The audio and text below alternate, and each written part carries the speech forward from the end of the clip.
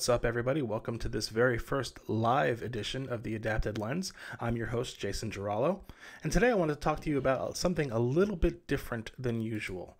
So, a couple of weeks ago, SpaceX decided to launch another one of their Starlink missions. It was a night launch, which is really cool. If you've never been down to the Cape or to the coast to see a night rocket launch, it is absolutely spectacular. I love going there, even if I don't have my camera with me. It is just something to see and to hear, and quite frankly, it's it's unlike anything I've, I can ever express or, or, or it's just amazing. So, uh, first off, if you've never done that before, get your butt to the coast, go see a rocket launch. They're coming up uh, so frequently these days. Uh, it's really very cool. Uh, that being said, I did take my camera this past time and took a few photos, and I wanted to show you all how I post process my night launches. All right, so we're going to hop into Lightroom here. All right, so welcome to Lightroom. That is me in the corner down there, which is pretty awesome. This is my first time, so I'm pretty stoked about this whole experience. But as you can see, I took a couple of pictures that night. Uh, this was just the two that I actually ended up with. There were some others that I were doing to just sort of test the exposure and things like that. Uh, but what we have is on the left, the actual rocket launch. That's this here. And then on the right, we have uh, a sort of a standard static frame that we will use later for blending. And so uh, first off, uh, we'll compare some of the stats on these uh, two photos. So the first one taken at ISO 200, actually both of these were taken at ISO 200.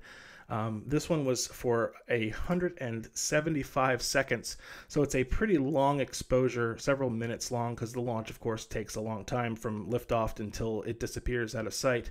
Um, and then also, this was shot at 8 millimeters, which on a Micro Four Thirds camera means 16 millimeters at f20. So really, really closed down aperture.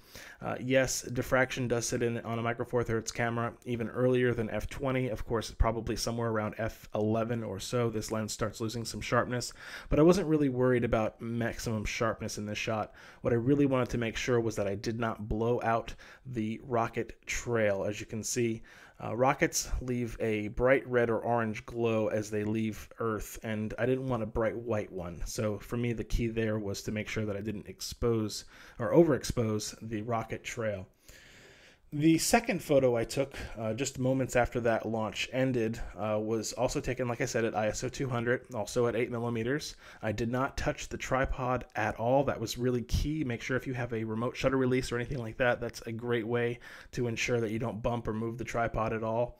Uh, this shot was taken at f4, so the lens is an f2.8 to f4. I closed it down just one stop from 2.8 to 4.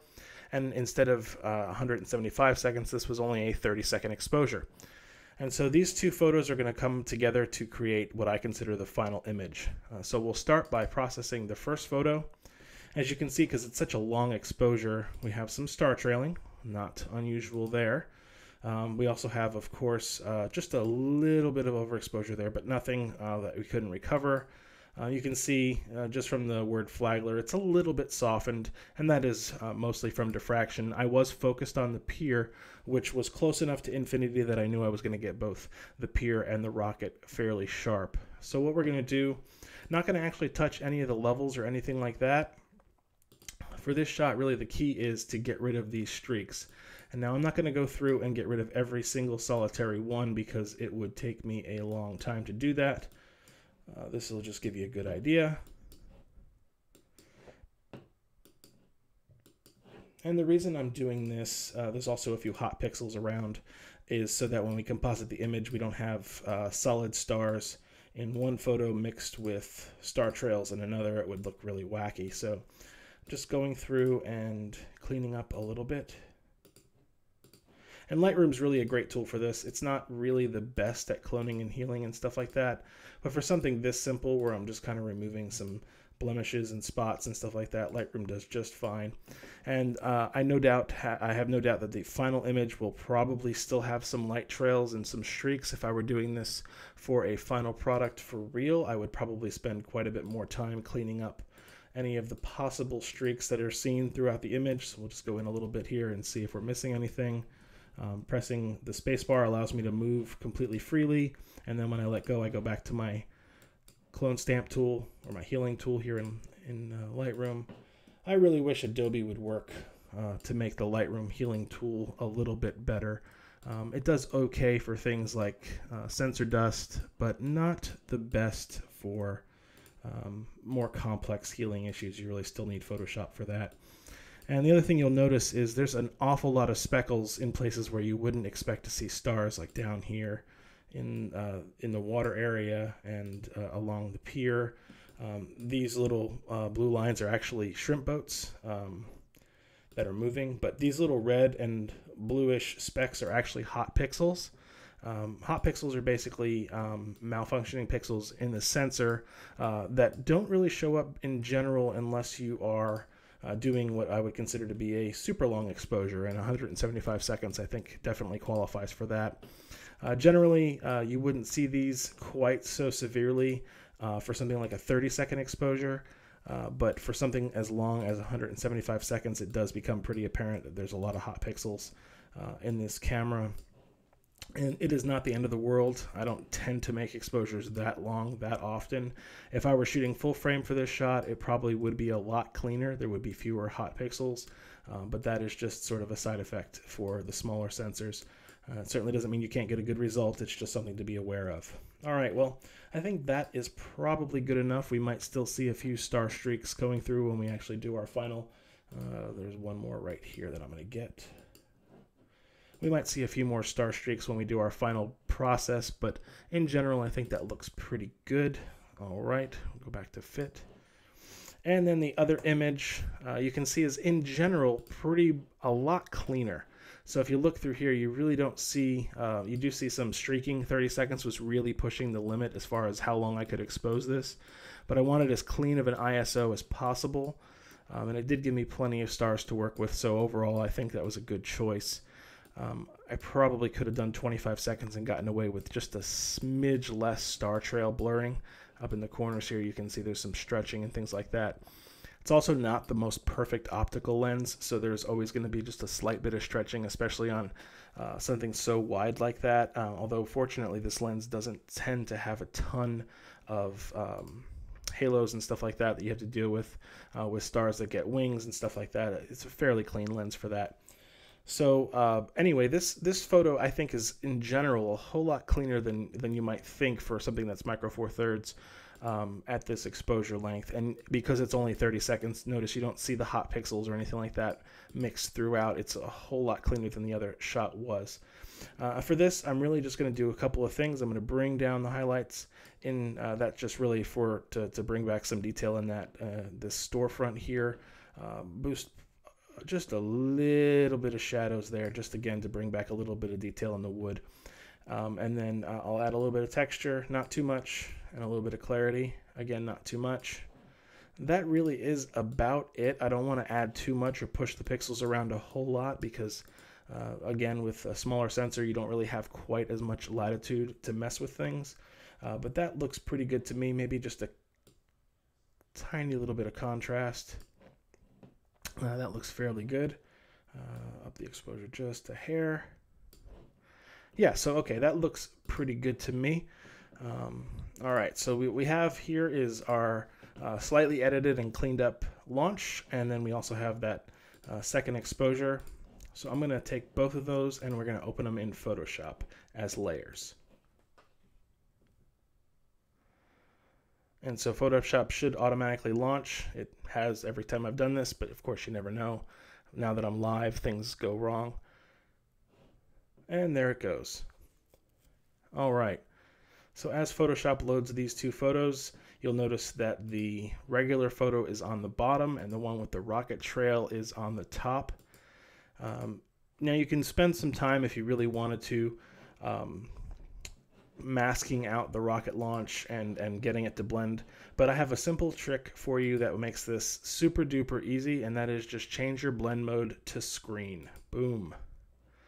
Now you have essentially blended the two photos together and you can see if I would have spent a little bit more time cleaning up, you can see there's just a few little streaks here and here that I did not catch. We can clean them up here if we want to. Just uh, go into uh, the healing brush and just kind of paint these out in Photoshop. No big deal. I won't spend a ton of time fixing this, but just to give you an idea that it's not all lost if you didn't do it in Lightroom. You can definitely do a good job in Photoshop if you wish. And it does make it a little easier to see some of them because some of these trailing uh, stars are so faint that you may not see them in Photoshop, especially with a darker exposure like that. And then once you add the screen, it all of a sudden becomes fairly apparent. Now, the nice thing about doing it this way is that if you try and erase a star that's on the underlying layer, when you're messing with the top layer like that, nothing happens. See that? Nothing actually happens because it's not, uh, that's not the layer you're working on. So I can go through and easily clean these up and not worry about messing with the stars I actually want in the picture, which is kind of a, a, a nice little bonus there. So just go through and uh, one of the downsides again, when you do this method, you can see there's all that those noise and hot pixels are popping through, which is kind of a bummer. But when you zoom out to 100 uh, from 100% or, or more than that to sort of screen viewing distance, you can't see them, and because they look like points of light, um, like everything else in the sky, when you have a starry photo, it kind of just blends together. So we're going to head and save that. And we are going to head back to Lightroom when this finishes saving which Photoshop for some reason lately takes just a longer time than I ever expected to to um, to save, but that is okay. And now we're back in Lightroom. And again, this isn't the best composed shot. I kind of was actually expecting the rocket to come up a little bit higher over the horizon, so I would have had a little bit more streak in the sky. Uh, it's funny when you're there uh, in person, it looks like the rocket is flying far, far longer in the sky than it actually exposes to. You can actually see sort of where the rocket disappears uh, when the when the engines decide to quit or whatever uh, the separation happens. Um, and in some launches, you're, if you're fortunate enough to see one where they do a flyback to uh, the landing cape, uh, to the landing pads at the cape, you'll actually see a second bow of, of uh, flame come down and do a touchdown. We were hoping for that, but uh, for this launch, they actually used the drone ship, so it landed like I think 40 or 60 nautical miles off the coast. So unfortunately, there was no way we were going to see uh, the landing trail. Although we did hear uh, a little bit of a sonic boom as they as they uh, came through the atmosphere and landed. Uh, it's pretty amazing, even as far away as we are. We're you know more than an hour away from the Cape. Um, you can hear uh, some of the larger launches going off. Uh, I don't believe you hear the Falcon 9, but when they launch the Falcon 9 Heavy, you can actually hear the sound from Palm Coast uh, Flagler Beach area all the way from the Cape. So that's pretty amazing. Anyway, uh, just a few last little bits and pieces here. Um, we're back in Lightroom. Uh, gonna just continue to raise the shadows just a smidge. I want a little bit more of the wood detail there, and we'll pull back some of the highlights. Don't want to do too much because we're gonna mess with the uh, rocket glow. But otherwise, that just gives you kind of a quick idea of what uh, to do when you do uh, capture rocket images.